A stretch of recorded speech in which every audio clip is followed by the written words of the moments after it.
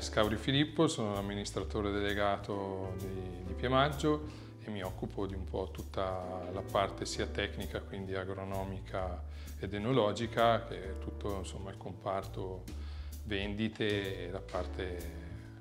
noiosa, un po' amministrativa.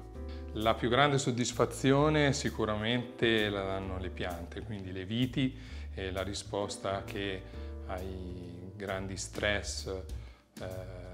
climatici che insomma, negli ultimi già possiamo dire oltre dieci anni sono sottoposte stanno dando grandi risposte e grandissime soddisfazioni a,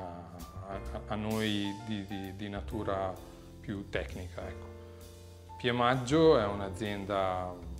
storica all'interno della denominazione in quanto già nel tardo Cinquecento eh, si ritrovano dei documenti che attestano di una vendita di vino